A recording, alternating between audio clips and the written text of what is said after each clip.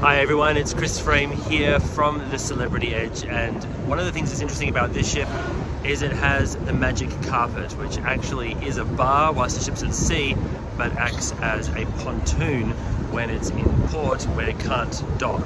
And so come with me from on board, we're going to have a look at what the embarkation into the tender process looks like on this ship, quite different from most of the other ships that I've been on.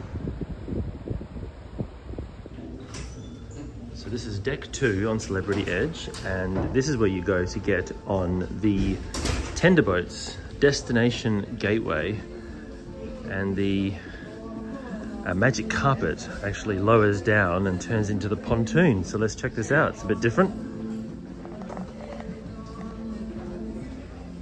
Wow.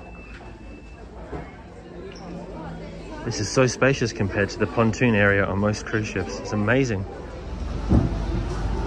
So here we are on the magic carpet. Thank you. And here's the, the tender.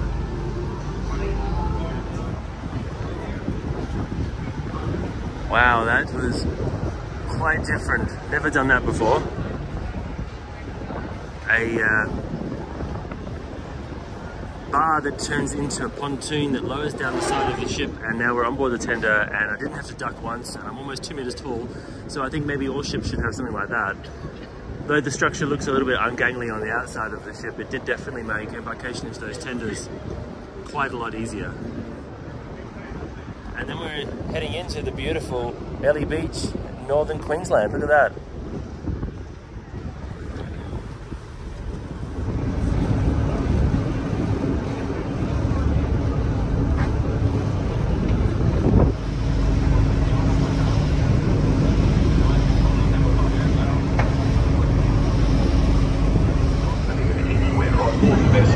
Thank cooperation.